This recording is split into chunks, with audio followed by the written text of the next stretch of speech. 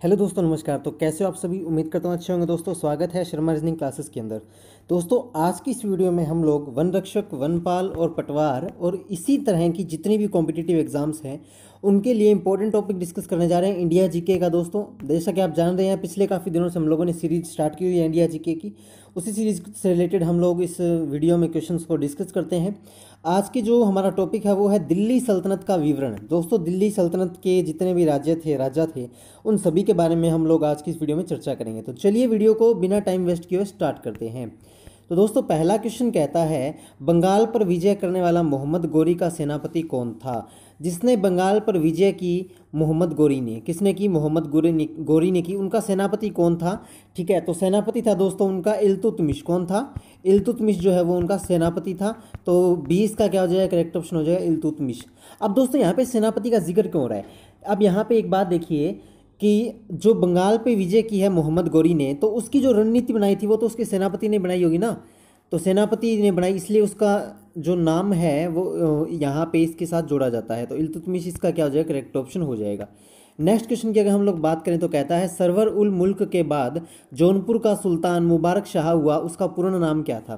पहले जो सुल्तान था वो था सरवर उल मुल्क।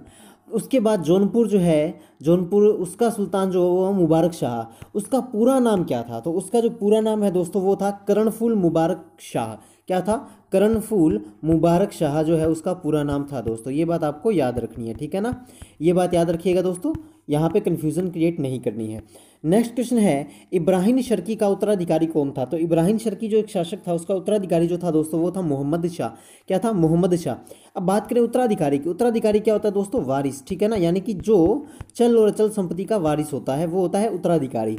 यानी कि इसके मरने के बाद जो राजगद्दी थी, वो इसको मिली, मोहम्मद शाह को मिली, ठीक है ना? तो बीस का क्या हो जाएगा? करेक्ट ऑप्शन हो जाएगा मोहम्मद शाह। नेक्स्ट क्वेश्चन है दोस्तों शर्की वंश का अंतिम सुल्तान कौन सा था? तो शर्की वंश का सबसे अंतिम का जो सुल्तान था वो था हुसैन शाह, ठीक है दोस्तों? उसका नाम क्या था? हुसैन शाह था। उसके बाद शर्की वंश ने जो है वो राजगद्दी छोड़ दी थी, ठीक है? अब फिर उनके कोई भी सुल्तान जो है वो राज्य में नहीं आए। तो ए इसका क्या है? करेक्ट ऑप्शन हो जाएगा। नेक्स्ट क्वेश्चन है, मालवा के खलजी वंश का संस्थापक कौन था? ठीक है ना, मालवा का खलजी जो वंश था, उसका संस्थापक जो था दोस्तों वो था अलब खां। कौन था? अलब खां, ठीक है ना? अलब खां। तो सी इसका क्या हो जाएगा? करेक्ट ऑप्शन हो जाएगा। अगला क्वेश्चन है दोस्तों, कि गुजरात राज्य का महानतम शासक कौन सा था? गुजरात राज्य का जो महानतम शासक है दोस्तों, वो था महमूद बेगड़। ठीक है ना? याद रखिए, महमूद बेगड़ जो है वो काफ़ी शक्तिशाली और काफ़ी सुलझा हुआ शासक माना जाता था। बात करें गुजरात की तो आज का करंट टॉपिक ही हम उठा लेते हैं। गुजरात की जो राजधानी है वो क्या है दोस्तों? गांधीनगर है। क्या है गुजरात की राजधानी? गांधीनगर है और हमारे माननीय प्रधानमंत्री नरेंद्र मोदी जो हैं वो भी गुजरात से बिलोंग करते हैं। ठीक है? और इसका करेक्ट ऑप्शन बी है, महमूद बेगड़ जो था वो गुजरात का महानतम शासक माना जाता है, गुजरात के राज सियासी इतिहास के अंदर, ठीक है ना? तो बी इसका क्या हो जाएगा? करेक्ट ऑप्शन हो जाएगा। नेक्स्ट क्वेश्चन है दोस्तों, कश्मीर का पहला मुसलमान शासक कौन सा था? तो कश्मीर का सबसे पहला जो मुसलमान शासक था दोस्तों, जिसने कश्मीर पे अपनी सल्तनत कायम की थी, वो था शमशुद्दीन शाह। कौन सा था? शमशुद्दीन शाह ठीक है ना? यहाँ पे आप देखिएगा सारों में शाह शाह है तो कन्फ्यूज़ नहीं होना है। शमशुद्दीन शाह जो है दोस्तों वो क्या था? आ, कश्मीर का सबसे पहला मुसलमान शासक था।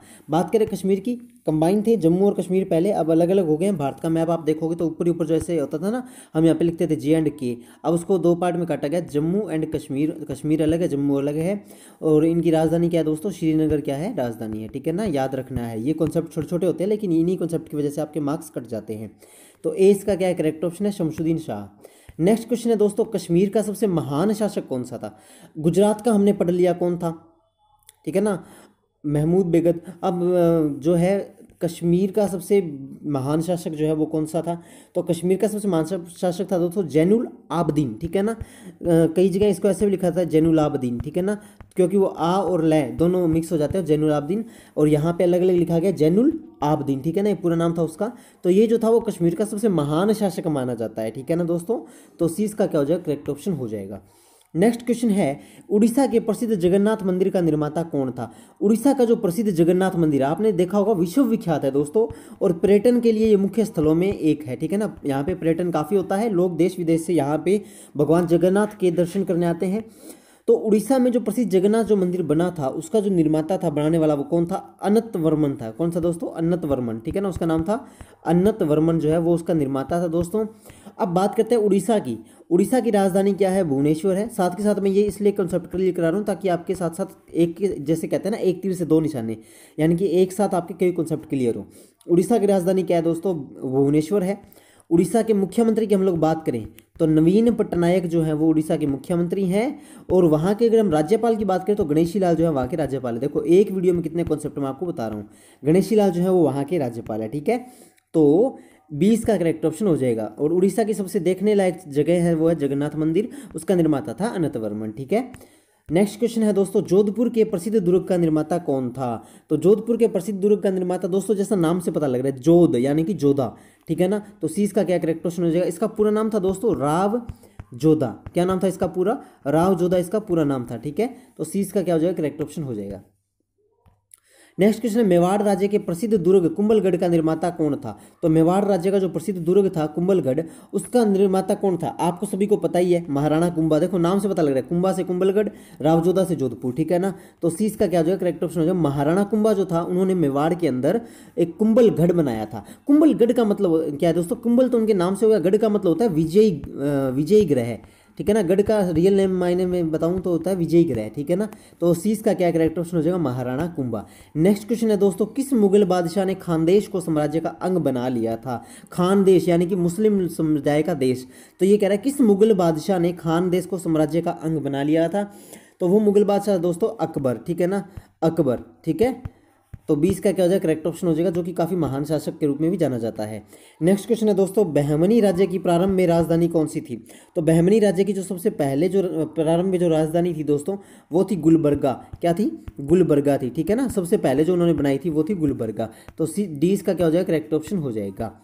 नेक्स्ट क्वेश्चन है दोस्तों, वारंगल के स्वतंत्र राज्य का अंत किस बहमन सुल्तान ने किया?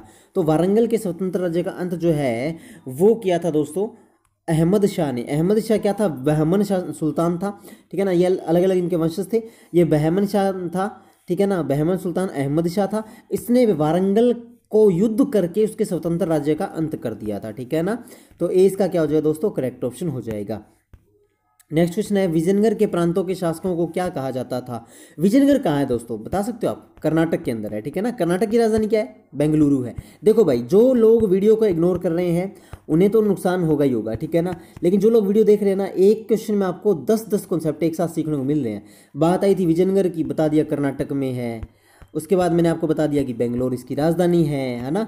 बेंगलोर को आईटी सिटी भी बोला जाता है। आईटी सिटी मतलब ये है कि सूचना एवं प्रौद्योगिकी शहर। अब देखो कितनी चीज़ें आपको साथ मैंने डिस्कस कर ली। तो ये दोस्तों विजयनगर के प्रांतों के शासकों को क्या कहा जाता था? तो विजयनगर के प्रांतों के शासकों को कहा जाता था दोस्तों नायक। क्या कहा जाता था? नायक कहा जाता था। नायक का मतलब होता था दोस्तों लीडर ठीक है ना? लीडर यानी कि नेता। सी इसका क्या करेक्ट ऑप्शन हो जाएगा। नेक्स्ट क्वेश्चन है दोस्तों, मलिक अहमद ने किस राज्य की स्थापना की? मलिक अहमद ने जो है दोस्तों, वो स्थापना की थी अहमदनगर की। बात करें अहमदनगर की आप देखो, नाम से पता लग रहा है। दोस्तों, इसमें पता है क्या? आपको नहीं याद रखने लोड ही नहीं है? देखो, महाराणा कुंभा, कुंभलगढ़ दुर्ग बना दिया जी। राव जोधा, जोधपुर बना दिया जी। और राव बिक्का जो था, उन्होंने बीकानेर बसा दिया जी। महाराजा गंगा सिंह ने गंगानगर बसा दिया जी। है ना? और इसी तरह से मलिक अहमद ने अहमद नगर राज्य की स्थापना कर दी जी। देखो, नाम से पता लग रहा है ना? इस पे तो मतलब टाइम लगाना ही नहीं है। मलिक अहमद, देखो, चारों में अहमद ये रहा, अहमद नगर जी। अहमद नगर का मतलब क्या है? अहमद का शहर। अहमद का शहर कौन होगा? जो अहमद बनाएगा, वो उसका अहमद का शहर होगा। तो डी इसका क्या हो जाएगा? करेक्ट ऑप्शन हो जाएगा। आया मज़ा क्वेश्चन करने में। देखो नेक्स्ट क्वेश्चन है, बहमनी शासन में अतरफ कहलाता था। अतरफ जो है, दोस्तों, वो राजा का एक व्यक्ति होता था। अतरफ क्या कहलाता था? सुब्बा। क्या कहलाता था? सुब्बा कहलाता था, ठीक है ना दोस्तों? तो ए इसका क्या करेक्ट ऑप्शन हो जाएगा। नेक्स्ट है विजयनगर राज्य की स्थापना कब हुई? जो भी अभी मैंने डिस्कस किया कि विजयनगर राज्य जो था, वो कर्नाटक में था, उसकी स्थापना कब हुई दोस्तों? तो विजयनगर राज्य की स्थापना हुई थी 1336 ईस्वी में। कब हुई थी? 1336 ईस्वी में, यानी बहुत पुरानी, ठीक है ना? तो ए इसका क्या है करेक्ट ऑप्शन हो जाएगा। नेक्स्ट क्वेश्चन है विजयनगर का उत्तर में विस्तार किस राज्य ने रोका? जो उत्तर में जो विस्तार हो रहा था विजयनगर का, वो किस राज्य ने रोका था? तो वो रोका था दोस्तों बहमनी ने बहमनी ने, ठीक है ना? बहमनी ने रोका था। बीस का क्या है करेक्ट ऑप्शन हो जाएगा? नेक्स्ट क्वेश्चन दोस्तों, उससे पहले मैं आपको बता दूँ। देखो चैनल पे प्लेलिस्ट भी हैं, वो भी आप देखते रहिए। बहुत ज़्यादा इंपॉर्टेंट है दोस्तों, रामबाण है आप लोगों के लिए, ठीक है ना? घर बैठे बैठे आपको तैयारी करने का मौका मिल रहा है यार, और क्या चाहिए आपको, है ना? और हाँ कोई भी क्वेरी हो ना दोस्तों, बेझिझक बोला करो यार कमेंट में बोला करो। मैंने सौ बार बोला हुआ आपको कमेंट में बोलो। कमेंट में नहीं बोलने का मन कर रहा तो व, मेरा व्हाट्सएप ग्रुप है उसका लिंक नीचे डिस्क्रिप्शन में दिया है उसमें ज्वाइन हो जाओ। उसमें बोलो कोई भी डाउट है पर्सनली कांटेक्ट करना चाहते हो कांटेक्ट नीचे डिस्क्रिप्शन में दिया आपके लिए ना service helpline twenty four into seven मैंने ऑन की हुई है ठीक है ना? तो घबराने की बात नहीं है ठीक है? तो बस वीडियो को बस सपोर्ट करते रहा करो यार पढ़ते रहा करो ठीक है ना? मेहनत करने का मज़ा तभी है जब आप लोग कुछ ग्रहण कर पाएँ। लास्ट एंड फाइनल क्वेश्चन दोस्तों, गोवा को जीतने वाला विजयनगर सम्राट कौन सा था? तो विजयनगर का जो सम्राट था, विजयनगर कहाँ? कर्नाटक में मैं बार बार बता रहा हूँ दोस्तों, ध्यान रखिएगा। तो विजयनगर का सम्राट कौन सा था जिसने गोवा को जीता था? तो वो सम्राट था दोस्तों, हरिहर द्वितीय। अब यहाँ पे देखो दोस्तों हरियर दो है, लेकिन याद रखना हरियर सेकंड वाले ने जीता था, ठीक है ना? इसके बाद जो वंश आया था हरियर द्वितीय, उसने जो है वो गोवा को जीता था। गोवा कहाँ है? इंडिया में है। गोवा की राजधानी क्या है? पणजी है। टूरिज़्म के लिए मोस्ट फ़ेमस प्लेस है। इंडिया के लोग भी घूमने के लिए गोवा ही जाते हैं ना? तो बीस का क्या हो जाएगा? करेक्ट ऑप्शन हो जाएगा। तो दोस्तों, ये थी आज इंडिया जीके के बहुत ही प्यारे प्यारे और बढ़िया बढ़िया क्वेश्चन कैसे लगे? अच्छे लगे ना वीडियो को लाइक कर दो।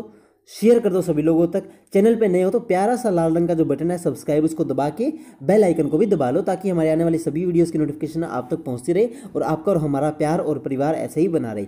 ठीक है दोस्तों, मिलते हैं नेक्स्ट वीडियो में। तब तक के लिए दोस्तों, जय हिंद, जय भारत, जय राजस्थान। अपना ख्याल रखें, सुरक्षित रहें। Bye take care